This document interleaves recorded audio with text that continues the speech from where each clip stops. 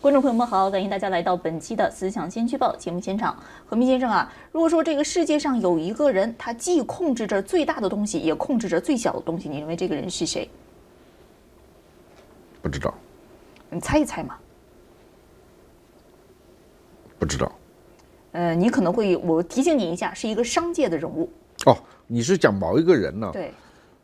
马斯克。哎，还真的就是马斯克。为什么这么说呢？我们看到马斯克呀，监管着至少十几家公司。现在他监管或者是作为主要负责人的公司的市值已经超过万亿美元啊。马斯克整个的这个商业版图呢，不仅仅是包括火箭飞船、人形机器人啊、快速交通、超级环、超级环路、电车等等等等，包括现在啊入植入人脑的这样的一个人机界面等等，都是马斯克在研究的范围，大到国防。承包商，比如说 SpaceX，不仅仅是有数十亿美元的太空任务政府合同，还有超过一亿美元的导弹跟踪卫星军事合同。而 Starlink 公司所组成的四千个卫星网络，现在呢是向乌克兰提供五角大楼在资助的服务。现在同时还有星盾呐，等等等等，可以说呀是上到宇宙，小到我们大脑里面可能会植入的相关的芯片，都与马斯克有关。不仅仅是互联网、电网、交通系。系统、外太空轨道、国家安全基础设施，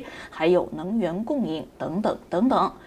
说到这一些实际的东西，我们还想到马斯克现在对于我们整个言论空间也有巨大的话语权，特别是自从他接掌了 Twitter 之后所引起的种种争议。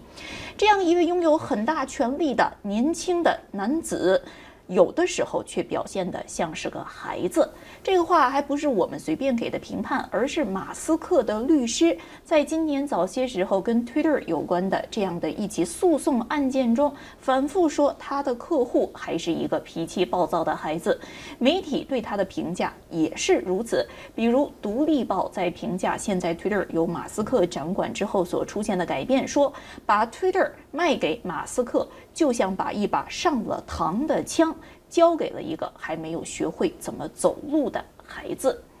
马斯克到底是谁？我们外界听到有关他很多的争议。有人给马斯克一个评价，叫一半是天使，一半是魔鬼。这个评价最早出自谁之口呢？就是与马斯克离了婚又结婚，结了婚又离婚的一任前任的妻子。他形容啊，马斯克有的时候真的是有一种人性的光芒，你看得到他对于这个世界的通透，以及对于人性的终极关怀。有的时候脾气暴躁，同时对于手下人和身边人的冷酷无情，这一种叛变又显得是一个魔鬼。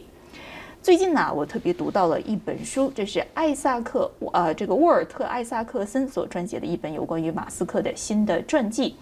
在这一本书中啊，比较详细的记述了马斯克本身的啊成长的经历，他建立商业帝国的各种各样的曲折往事，同时呢，也对我们了解马斯克有更好的帮助。因此啊，今天在思想先驱报这个环节中，我们就为大家介绍艾萨克森所撰写的《马斯克》的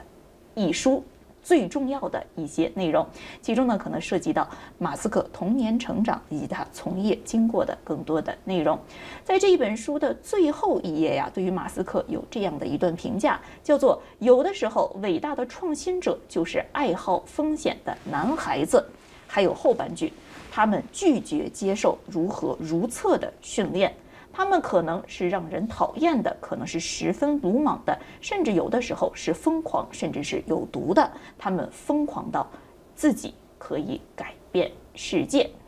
而在这一本传记的最后，作者还说：说对于一个现在只有五十二岁的人来说，地球上没有掌管核武器的人中。没有人比马斯克再有更多的权利了。言外之意，除了美国总统掌握着核武按钮，世界各国元首，哎，可能在发起世界战争上比马斯克有更大的话语权。其他我们所生活的大大小小各个领域，恐怕马斯克的话语权都是十分大的。但是如果真的像外界对他的性格评价一样，一个没有接受过如厕训练啊，甚至呢还没有学会怎么走路的男孩子，掌控了这么大的权力，是不是也让我们觉得有一点心焦啊？在我们介绍这一本书的主要内容之前，我先请何斌先生讲一讲你对马斯克是一个怎样的印象。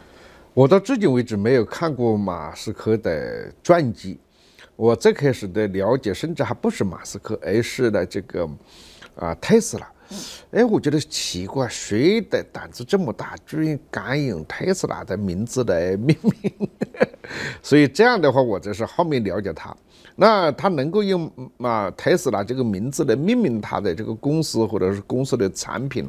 我觉得这个人确实可能是比较非凡的。后来果然啊，他在很多的方面的这个想象力是一个超级天才。这样一个超级天才能够成为世界首富，我觉得当之无愧啊，当之无愧。因为我们这些年见了太多的这种科学的创创创造者。有的人是我也是非常的钦佩，比如说比尔盖茨，他的读书、他的思考、他对人道的关怀，哪怕是有一些事情，后来发现啊，就是说啊，比如说他跟这个这个啊美国的政商界的某一些问题，但是那些事情呢，我都觉得有一点像书生。莫名其妙，有时候被利用了，或者是自己不小心迷失了一样的。但是整体来讲，比尔盖茨是一个非常正派的、非常正面的、非常好学的，又非常的谦卑的这么一个了不起的，世界上最了不起的企业家之一。而剩下就有很多，当当然也是有各种层次的企业家，但是总是有一点被公关媒体所塑造的这种形象。啊！但是马斯克这样最伟大的、最了不起的公关大师也没办法跟他化妆，是因为他有时候的表现就是非常直接的。像在《纽约时报》这次论坛上的表现，那一个基本上有正常行为的美国人都不会那么傻的。嗯，但是他就居于那么粗暴。所以他的这种粗暴，他的这内心的冲突，他个人的这个冲突，到底是什么根源？那大家当然可以有有各种各样的议论。你刚才讲的这本书，也就是这个里面相当严肃的一个一个探讨。那我们就先从马斯克的人生早期开始啊。马斯克实际上在学校里的时候啊，可以说并不很受同学的喜欢。那我们知道，马斯克本身患有阿斯伯格症，导致他在与别人进行情感的交流，或者是叫正常沟通的时候，有很多的障碍。所以呢，在学校里面，实际上他经常受到同班同学的侮辱，并且呢，经常被打。那么他本身的家庭啊，也是充满了波折。这样一个家庭，在他十岁的时候，他的父母离异了。当时呢，因为各种各样机缘巧合的原因，他和自己的父亲生活在一起。但是随后的种种记录显示，他的父亲实际上是一个呃，从个人的人格以及呢，教育孩子的方式都非常有问题的人。那比如说呢，他的父亲啊，呃，不仅仅是经常对于马斯克进行生理上和心理上的羞辱，同时呢，啊，也带有非常强烈的种族主义的色彩。比如他说啊，如果南非没有白人的话，那黑人还在树上爬，就会直接说出这样的话。嗯，本身的这个道德上呢，也可以说是非常不符合社会伦理的。比如他和自己的两个妓女啊，同时有这个生育有孩子等等等等。那么马斯克在这样的一个环境下长大啊，可以说既有他非常孤独痛苦的一面，但是同时那。我们知道，马斯克长大的南非是种族隔离的南非。作为一个白人，他又与当时南非社会很多真正意义上的痛苦是有距离的。就是这样一种既是特权，又是寄人篱下，又是很痛苦受委屈的这样的一种压抑和扭曲，似乎是形成了某一种矛盾。作为一个在南非长大的白人的孩子，他既有很多性格中由特权而产生的乖张的一面，同时他也知道痛苦。用传记作者的话说，他也知道如何在痛苦中生存。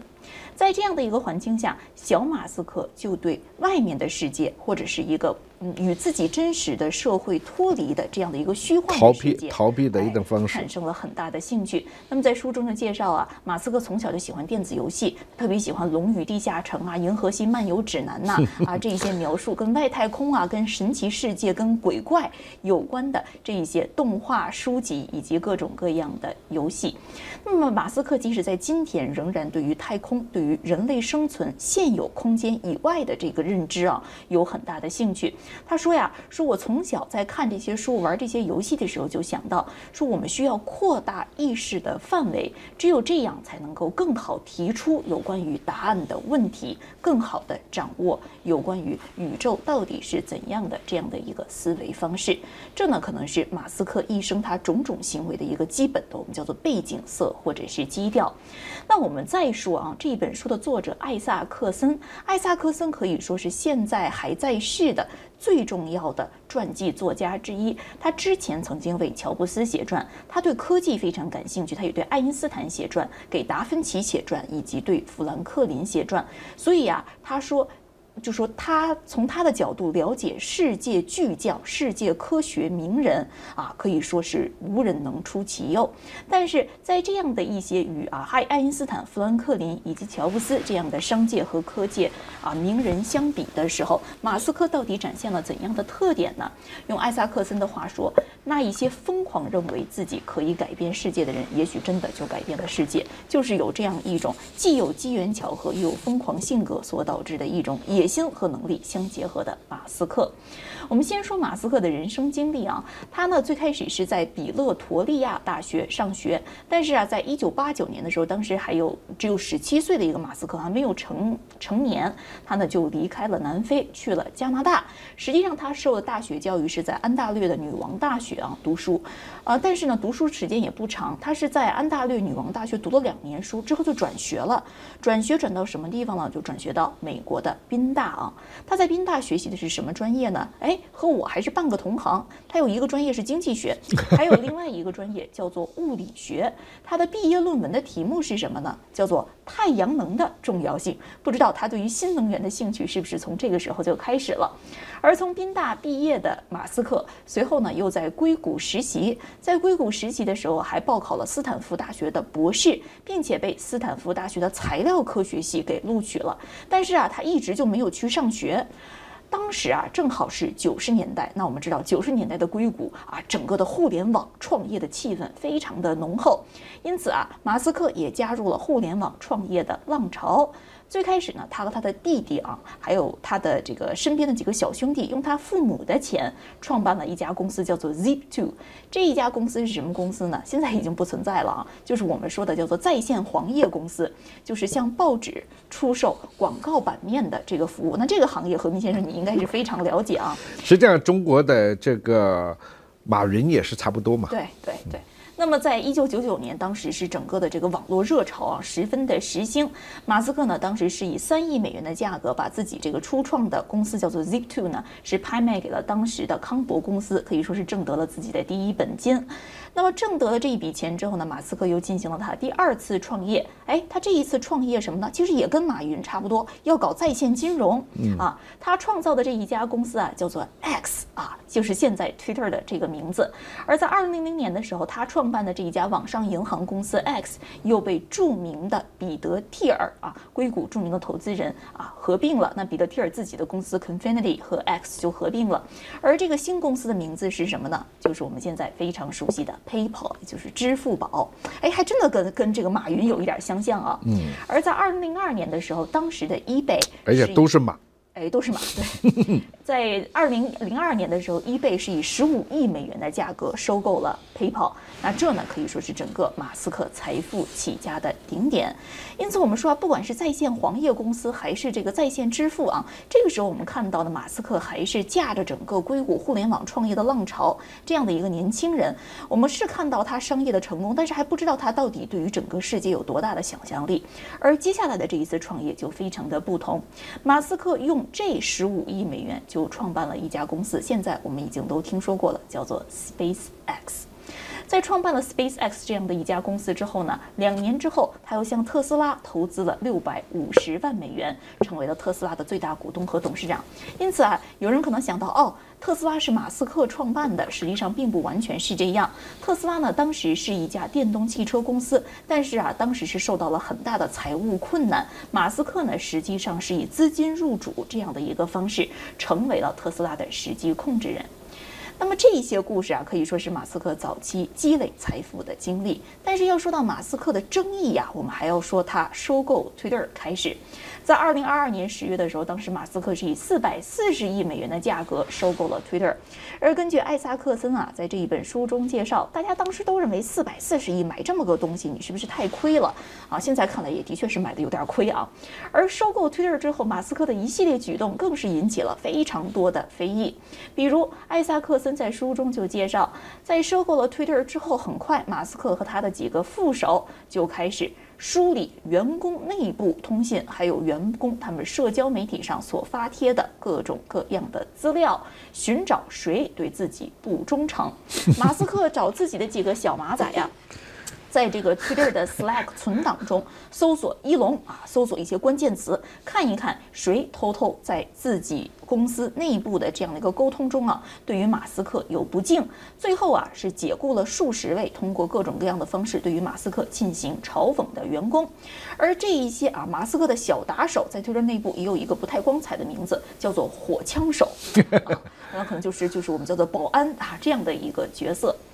那么如果说这个叫做对于啊这个员工报复心非常重，引起了大家对于马斯克人品的很大怀疑。有的时候大家对于马斯克到底对技术懂不？也产生了很大的疑问。那比如说，在他收购 Twitter 之后不久的这个冬天呢，马斯克就对于在萨拉门托的一个数据设施进行了突袭，说：“哎，把这里面的这个 Twitter 的数据中心我们全部移到另外一个地方去，这个地方我们不要了，要削减成本。”但是当时啊，Twitter 负责硬件基础设施的相关的专家就告诉他说：“啊，我们进行这样的服务器和数据的转移，可能要几个月的时间才能够。”确保安全无障碍，马斯克就觉得你们这些人啊，简直就是拿着钱不干活，怎么能几个月的时间呢？一怒之下，当天晚上，马斯克就召集了自己的几个小马仔啊。雇了几个搬运车，在平安夜当天就把这一些服务器运走了，说拔电源就拔电源，结果啊，最后果如 Twitter 安全团队所警告他的，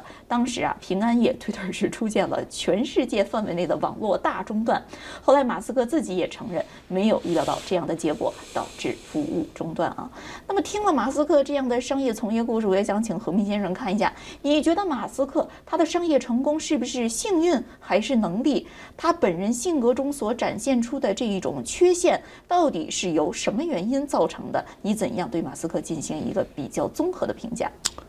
成功的人物，你当然可以找出无数的理由啊，无论是他的幸运，还是聪明啊，贵人、机遇，我是认为所有的因素都会成为他成功的原因。而失败者是任何一个因素都会成为他失败的这个因素，很难。呃，完全的确定，尤其像他这种超级的成功者，要复制就更加艰难啊！我们实际上在谈这些事情，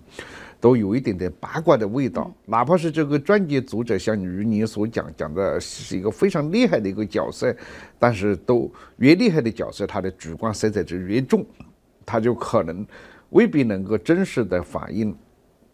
马斯克真正的心境，马斯克真正的历程，马斯克真正的经历的各种各样的挫折的这个过程，因为结果已经摆在这个地方，他已经超级成功了，已经留下了很多的荒谬的这种印记，让大家津津乐道。但是真实的马斯克到底是怎么样呢？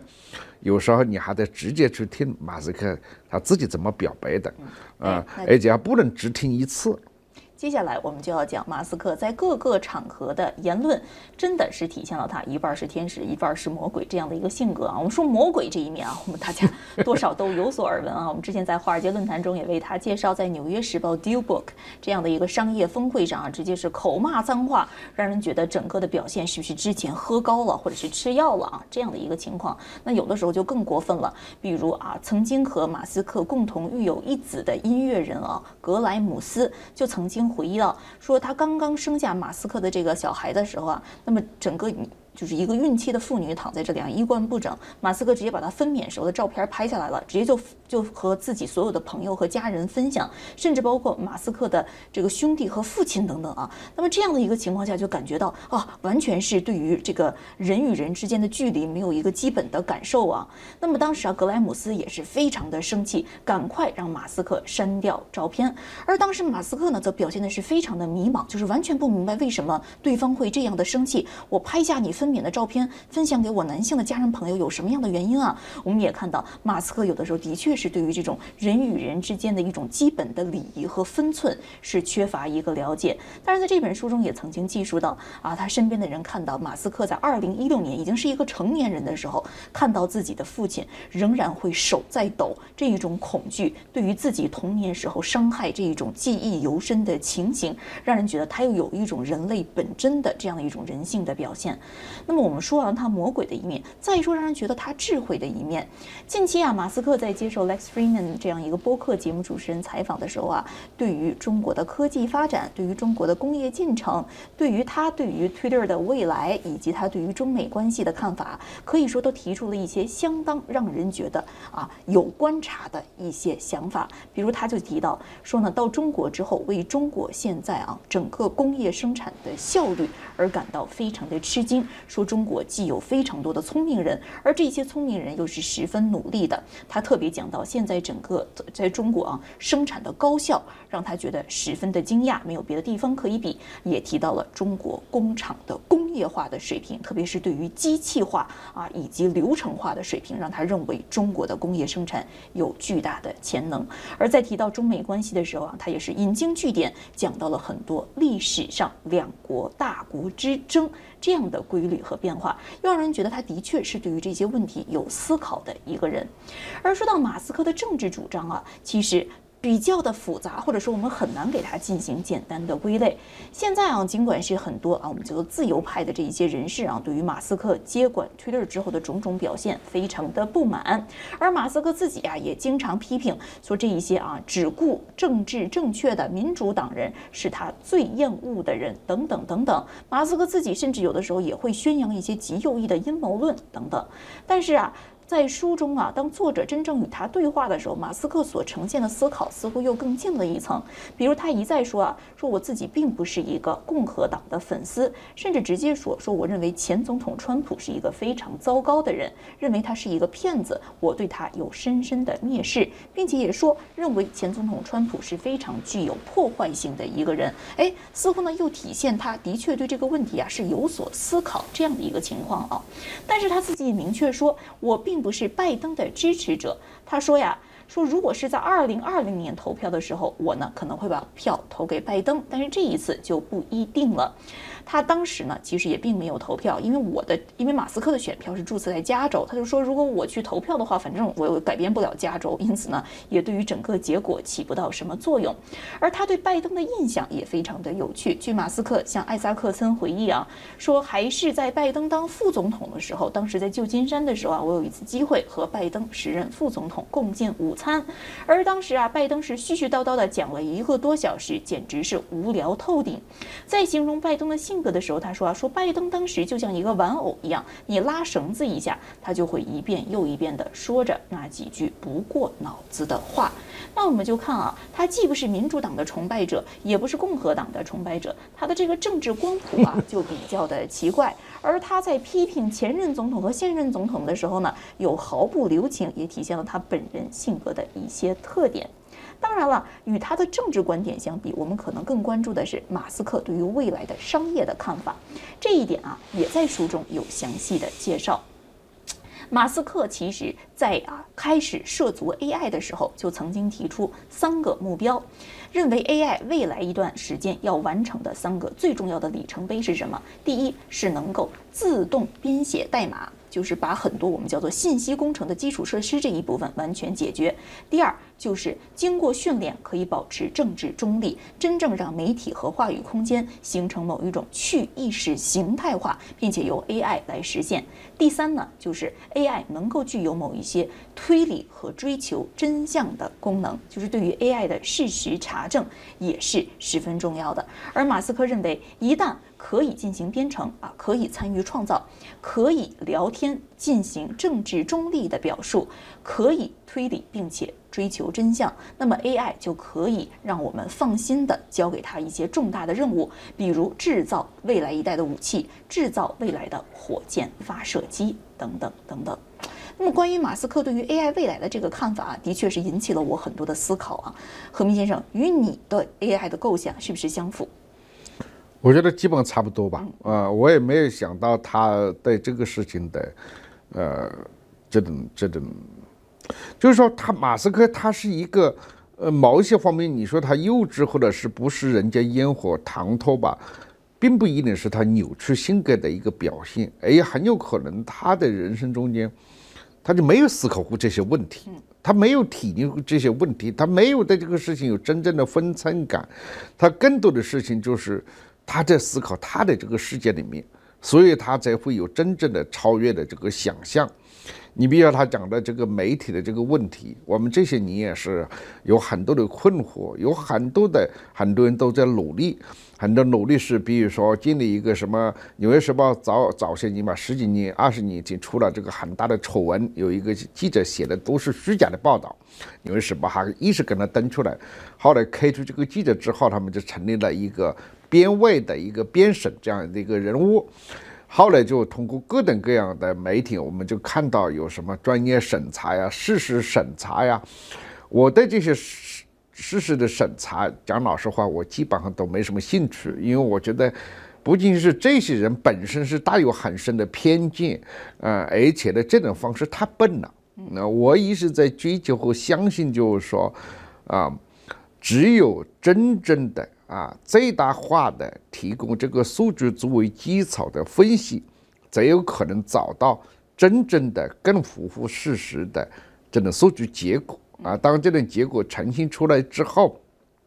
再告诉大家的东西，那才是真正超越了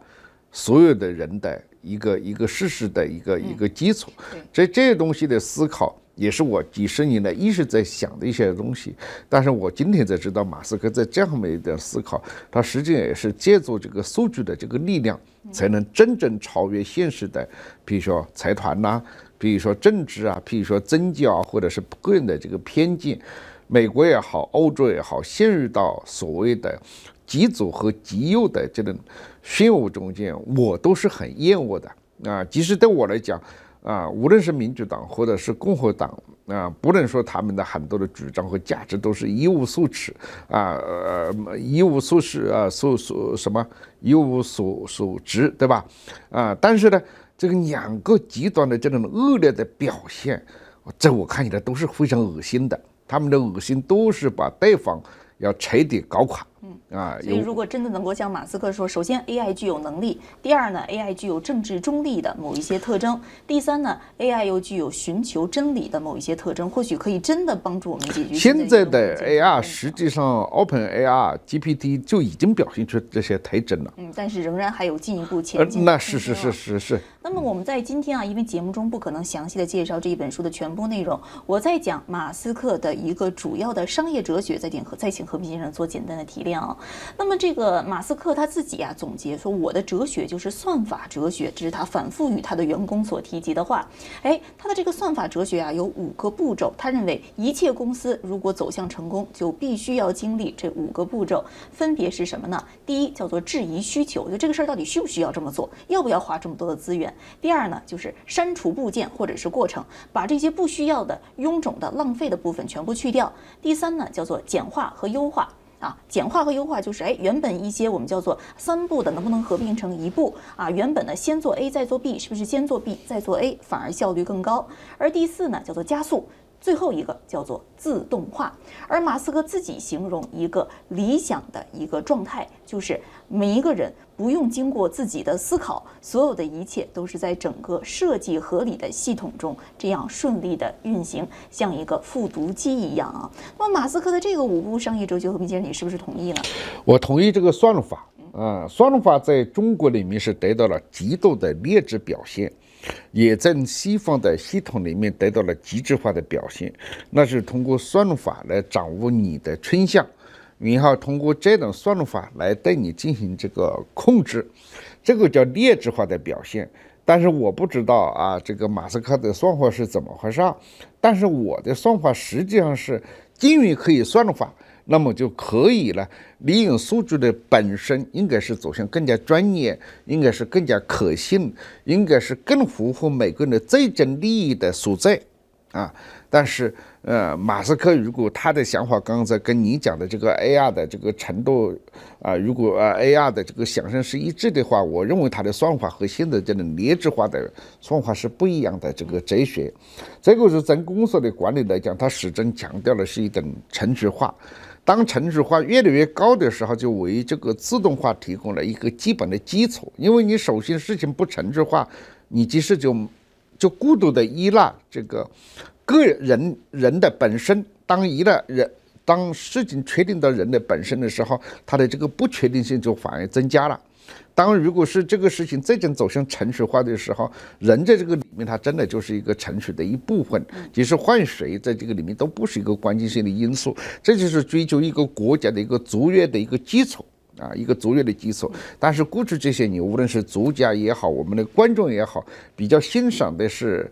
呃，某一种非程序化的东西。嗯，好。谢谢和明先生分享思考啊！当然啊，马斯克在整本书中啊，让我印象最深的一句话，还是他回忆自己在啊特斯拉早期的时候面临的一系列困境。那我们知道，当时特斯拉是基本上离关门倒闭啊，就差一步之遥。各种各样的做空公司几乎是每天都在做空特斯拉的股票。用马斯克的话说，说这一些啊就像吸血的毒虫一样，每天钉在我的脖子上。他说呀，那段时间我是每一天都为生存而战，时时刻刻是处于叫肾上腺素分泌的这种模模。式啊，整个人呐，感觉就是每一天都是生死攸关，每一天都是生死攸关。但是马斯克说说回头而看呐，只有在那一种压力之下，我才找到了目标。现在当我已经不再处于生死攸关的模式的时候，每天有动力就不那么容易了。所以呀，这一点呢，我觉得也是给我们电视机前可能还在创业，或者是不知道过去几年各种各样的原因可能导致生意或者是您的事业受到一些挫折的朋友们共勉。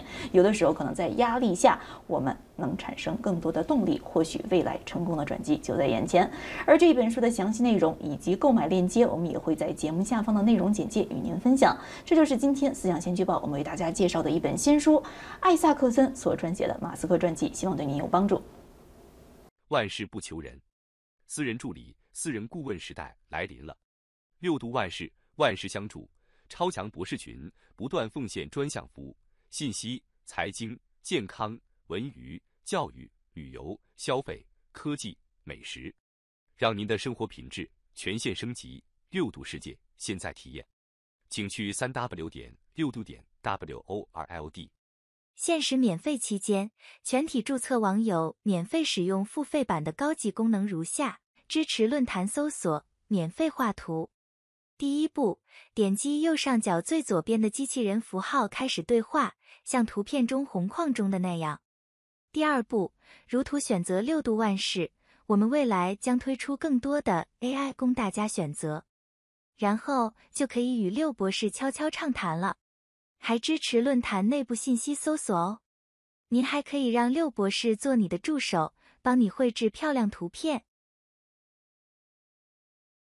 最后可以点击添加，添加好友进来，一起与六博士工作。一起来三 w 点六度点 w o r l d 尝试吧。